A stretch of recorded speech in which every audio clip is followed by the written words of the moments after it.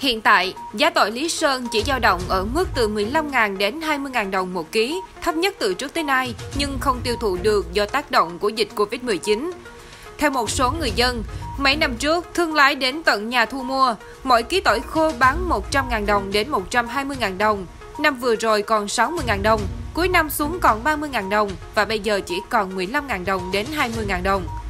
Theo thống kê, toàn huyện còn khoảng 1.800 tấn tỏi chưa thể tiêu thụ, khiến người trồng tỏi thua lỗ nặng. Vụ đông xuân năm 2020-2021, toàn huyện Lý Sơn trồng 325 hecta tỏi, năng suất đạt 124 tạ 1 hecta. Sản lượng tỏi tươi đạt khoảng 3.000 tấn, tương đương với 2.100 tấn tỏi khô. Mặc dù đã qua hơn nửa năm, nhưng nông dân trên đảo chỉ tiêu thụ được 1 phần 7 sản lượng tỏi với giá cực thấp. Tỏi là nguồn thu nhập chính của khoảng 40% người dân trên đảo. Vì thế, nông dân rất mong chờ một giải pháp phục hồi giá và đầu ra ổn định cho tỏi Lý Sơn.